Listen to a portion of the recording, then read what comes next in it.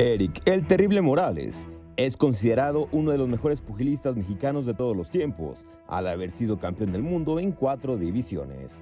Luego de su retiro, se postuló y consiguió una diputación federal en Baja California, donde se ha enfocado en el desarrollo deportivo y actividades físicas, buscando mayor presupuesto fomentando la actividad diaria, que es necesaria para reducir la obesidad en el país.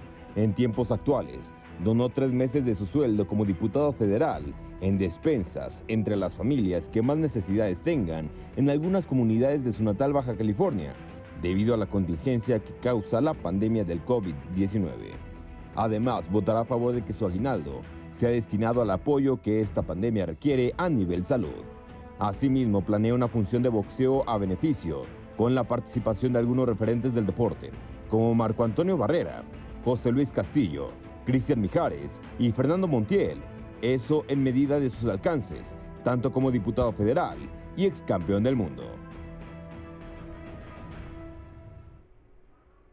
Bueno, ya estamos de regreso en TVC Deportes Total y sí, vamos a platicar en unos eh, minutos más con el diputado Eric Morales, pero también saludamos a Gerardo Bobadilla en la línea telefónica, quien obviamente es nuestro experto en boxeo. Bob, ¿cómo estás?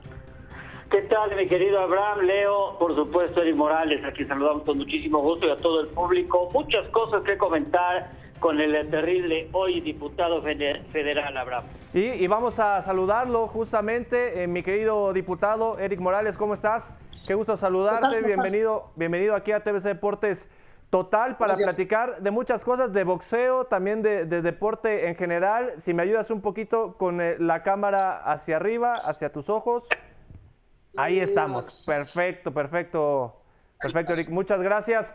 Eh, yo lo primero que quiero preguntar y después dejo a Bob y después pasamos al deporte en general, pero de boxeo. ¿Hay pelea, hay tiro o no hay tiro con Marco Antonio Barrera? Porque qué peleas pues, nos regalaron, ¿eh? Gracias, gracias. Pues estamos ahí platicando. Eh, de haber peleas, eh, no va a haber tiro, porque los tiros que viste fueron muy dramáticos y, casi lucha libre. Nosotros, nosotros, si hacemos algo, hacemos algo bien de boxeo, con, con, lo que es el boxeo clásico, de verdad. Adelante, Bob.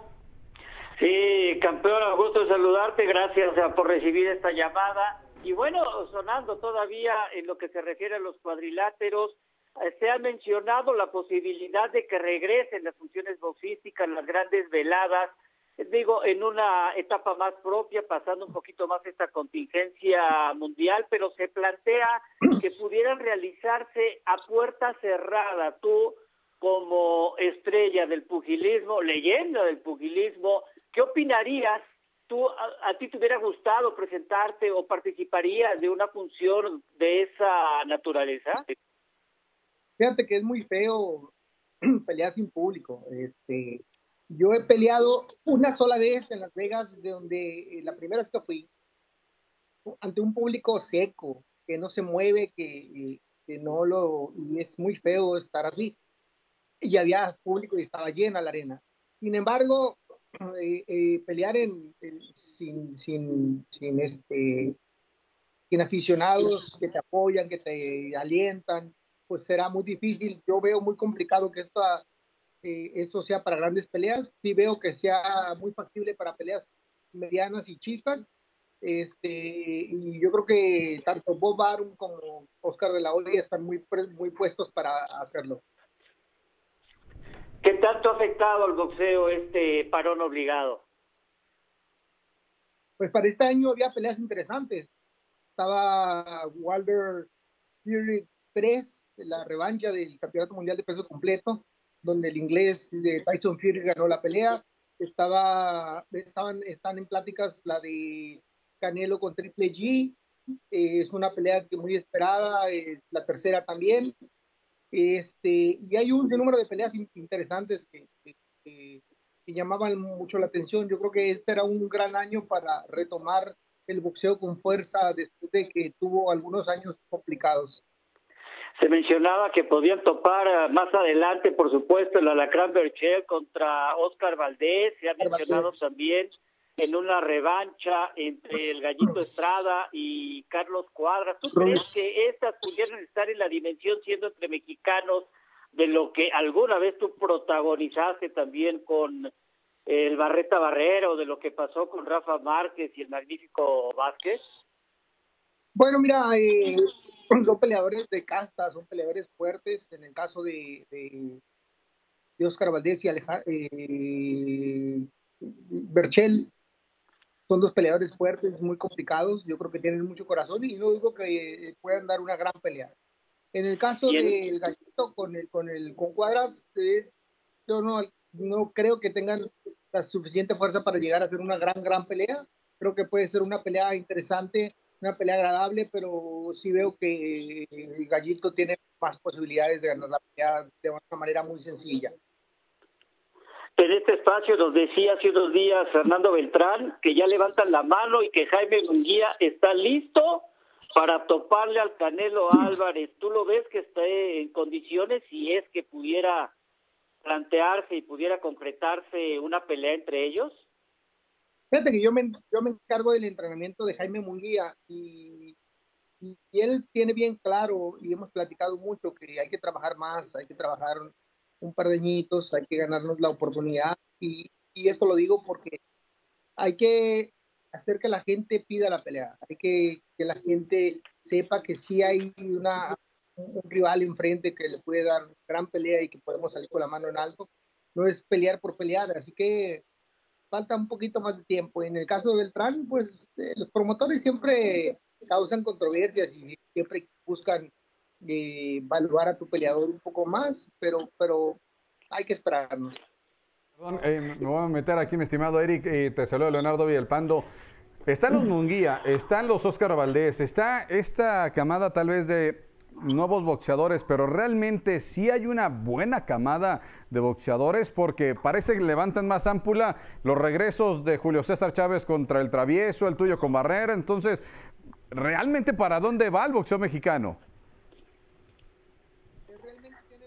Tenemos la, capacidad de boxeadores para que el boxeo mexicano reluzca. Sin embargo, son muy, muy crueles porque no los hemos dejado posicionarte y el, único que tiene más tiempo que todos ellos es eh, Canelo Álvarez, ¿no? Pero tenemos gran camada, tenemos buenos boxeadores y, van a hacer gran, gran, gran este, representación de México a nivel mundial. Nada más hay que darles tiempo.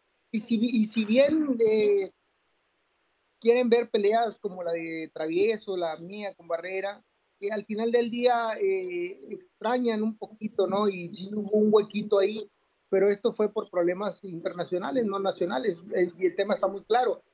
Peleadores como Mayweather, como Pacquiao, como Cotto, como algunos más que tenían las fechas acaparadas y que no se iban del boxeo, pero ya estaban fuera de, su época. Entonces eso él quitaba las oportunidades. Pero hoy mismo, en este año iba a haber grandes peleas de mexicanos en Estados Unidos. De acuerdo. ¿Alguna otra pregunta de, boxeo, Bob? Eh, porque ah, sí, por supuesto. A ver, a ver. Por supuesto. Canelo Álvarez, ¿qué pasa, qué falta para que sea tan reconocido como tú, campeón en tu momento pugilístico, lo fuiste como una gran estrella del pugilismo, pese a todos los millones que gana, pero que la gente realmente lo acepte? Bueno, eh, eh, uno, mayor, uno de los mayores problemas es que eh, el hecho de tener cláusulas a la hora de pelear, el hecho de poner en el contrato algunos algunas modificaciones, cuestiones de no puedes subir, no puedes hacer esto, no puedes hacer lo otro. La gente se molesta y la gente lo toma mal. Pero al final del día es un buen boxeador, un boxeador que ha presentado un buen nivel de boxeo y, cada vez que sube el ring lo hace de manera íntegra, con buen trabajo físico y técnico. Pero los mexicanos somos muy crueles y muy canijos. O sea, faltaría que sería un tiro como los que te dice contra el Barreta. Pues a lo mejor le hace un poquito de tiro así de más corazón, de, de, tú a tú, de importante para que la gente pueda tener este reconocimiento hacia, él. Perfecto. ¿Algo más, mi querido Bob? Bueno, en el terreno deportivo, ¿no? Pero como diputado federal, sí. Claro, vamos, vamos, vamos a ese otro terreno porque, eh, Eric, eh, diputado, has, has sido pieza fundamental en la Comisión del Deporte, luchando por muchas cosas, obviamente, tratando de, que sea transparente todo lo que hay alrededor de, nuestro deporte y, vaya que cuesta trabajo en algunas ocasiones. Pero ahora yo te quiero preguntar, con esta pausa obligada, con también el aplazamiento de los Juegos Olímpicos, están al pendiente, obviamente, ¿no? De los deportistas, de qué va a pasar, de, todas las cuestiones que tenían por ahí pendientes, como, como el CAT, como la CAT, perdón. Eh, ¿en, qué, ¿En qué están, qué están haciendo ahorita en la comisión? Bueno, ahorita mismo la comisión está parada completamente y el deporte se paró y qué bueno que el Comité Olímpico Internacional tuvo la bien decidir cambiar las Olimpiadas el próximo año. Era, era imposible mantenerlas para este año yo creo que el próximo va a ser gran impulso para todos los deportistas, van a correr en, las mismas condiciones y tendrán mucho tiempo para los que ya calificaron para, para ponerse las pilas y, estar y llegar al 100%. Y quienes no han calificado, pues tendrán la oportunidad de ponerse también al tiro para, para buscar su boleto. Eh, en el caso de, de, de CODEME y, y, CAT, que son las cosas más importantes que necesita eh, el deporte en la actualidad para tener garantías y para tener claridad con los procesos eh, selectivos que se necesitan es fundamental. Sin embargo, ahí estamos discutiendo todavía y nos jaloneando. Pero hoy mismo la comisión de la CAT ya está instalada casi al 100% y esto nos va a dar un poco de garantías. Eh, diputado, con el tema de los presupuestos, que digo, hasta hace poco ya se daba una resolución en contra del el presidente o ahora expresidente de la Federación de Atletismo. También ya en el de tenis, por situaciones internas, se han dado algunos cambios. Realmente en los temas presupuestales, inclusive con la CONADE, ¿cómo es que se está tratando de clarificar? Porque hoy estás tú, pero han pasado exdeportistas que no han podido con esta situación, inclusive algunos siendo directivos también de la CONADE, como hoy lo es Ana Guevara. ¿Realmente qué tan complicado es poder clarificar las cuentas en un país como México? Pues mira, eh, tenemos mucha, muchas buenas condiciones para que esto suceda.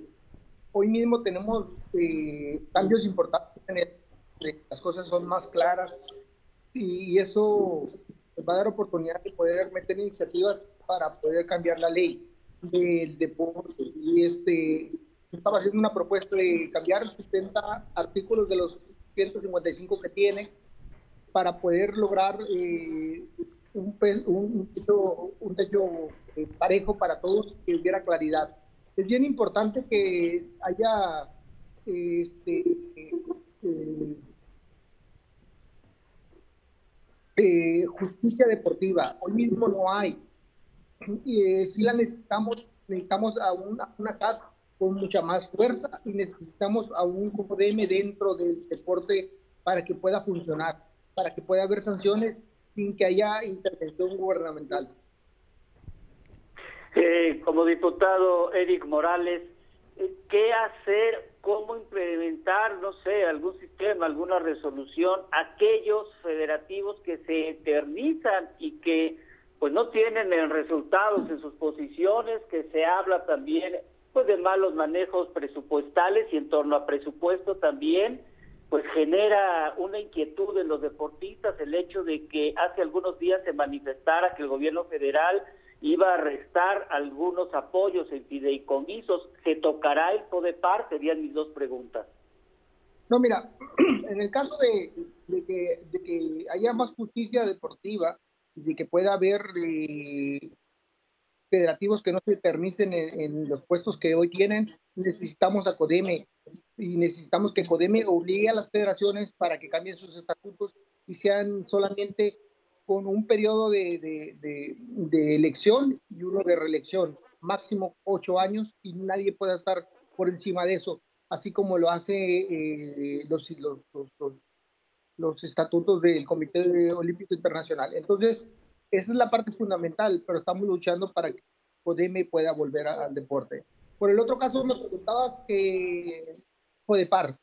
Podepar, el presidente hizo un anuncio que iba a los fideicomisos a, a, este, a retenerlos y a, buscar que eh, juntar ese dinero para otras causas, con la excepción de los que fueran hechos por ley.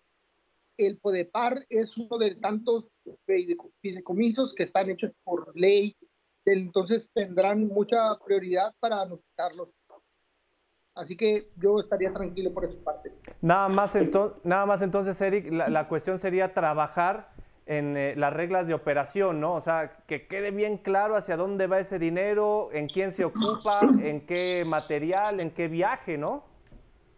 Sí, bueno, hay, hay, eh, hay, hoy en la actualidad hay algunos, eh, pero evidentemente no funcionan al 100%. Estado con mucha dificultad en situación con, con, con CONADE para ver las, eh, los criterios que se toman para poder ese dinero después. Pero hoy mismo, a regreso, vamos a, a estar un poquito más, más duros en esa parte. En el tema, diputado, de estas eh, reuniones de trabajo que han tenido de manera constante, que lo hemos visto tal vez en, este último año, en estos últimos meses, ¿realmente qué tanto se va a clarificar o qué tanto se va a estipular reglas mucho más... Eh, fortuitas para el deportista, para la proyección, para el tema social que también es tan importante, no solamente las medallas en Juegos Olímpicos o en eventos importantes, sino en el tema social. Realmente, ¿cómo se va a dejar todo este proyecto no solamente para esta instancia, sino para los que vengan en subsecuentes eh, situaciones, tanto políticas como también eh, deportivas, no haya tanto manoseo como el que se ha dado en los últimos años y que a ti te tocó en algún momento como deportista eh, verlo de alguna, de alguna manera, ¿no? Estamos muy atentos a una propuesta que va a hacer el gobierno federal, va a hacer unos cambios importantes en, la ley de cultura ley de cultura y deporte. Y esos serán fundamentales para que el deporte en general tenga mejor suerte. Por otro lado, te, tengo que decir que tenemos que empujar que las, los, gobiernos estatales y los gobiernos municipales también hagan su parte. Es imposible que todo lo queramos sacar del gobierno federal. el gobierno, los gobiernos eh, eh, estatales y municipales inviertan en deporte menos del 1% de su presupuesto eh, y van y piden, antes en el pasado iban a pedir a la, CONADE y, a la, directamente a Cámara de Diputados este, auditorios grandes, centros de alto rendimiento, en lugares donde realmente ni siquiera hay población que los pueda ocupar. Eh, hay muchos elefantes blancos a nivel, eh, a nivel nacional. Hoy hemos estado haciendo propuestas para poder rejuntar y ver realmente un, este, una, un inventario real de lo que tenemos a nivel nacional, porque sí ahí, ahí había un eh, renade, pero no, funcionaba. Entonces necesitamos algo más claro para poder ver qué es lo que tenemos y dónde podemos aportar. Eric, eh, hoy el tema es coronavirus, esperamos que esta pandemia culmine pronto y en la perspectiva de los diputados que deben pensar a futuro también, ha iniciado ya algún cierto tipo de diálogo en cuanto al apoyo a los deportistas, las revisiones de estos mismos en los casos de salud para que no se vean afectados, sobre todo hablando eh, en una primera instancia de aquellos que serán eh, deportistas olímpicos, aunque implica todo el deporte nacional? La verdad no hemos tenido una plática concreta para, este tipo de deportistas. Eh, CONADE no, no ha hecho ningún pronunciamiento también en, parte de sus deportistas. Prácticamente, si no me recuerdo, un brote de, de, coronavirus en, en, una de las instalaciones de, si no mal recuerdo, en el Senado. Y así que mandaron a todos a, a descansar, ¿no? Y a veces los ciclos deportivos también en esta época, cuando te alargan la competencia un año, no puedes seguir trabajando, tienes que tomar eh, descanso. Parte de, un entrenamiento es fundamental el descanso, así que necesitamos, probablemente nuestros deportistas están en esa, en esa fase, en el descanso y esperando el momento adecuado para empezar los entrenamientos. Diputado Eric Morales, gracias por eh, tomarnos eh, la llamada, gracias por estos minutos de charla de boxeo y también del deporte, obviamente. El boxeo que, te apasiona, por supuesto, en donde nos diste grandes eh, glorias y el deporte, que ahorita lo estás trabajando, buscando la mejora, por supuesto, eh, en condiciones para todos los que están involucrados en el mismo. Vamos a estar al pendiente y, por supuesto, también invitar a la gente, ¿no? De, de, tu parte, como lo hacemos siempre, a que se cuide, a que se quede en casa, a que tome todas las medidas necesarias. Claro, sí, es importante quedarnos en nuestra casa. Hoy más que nunca está de por medio de nuestra vida, así que hay que cuidarnos. Muchas gracias, Eric. Un abrazo. Hasta luego. Gracias al diputado Eric Morales. Eh,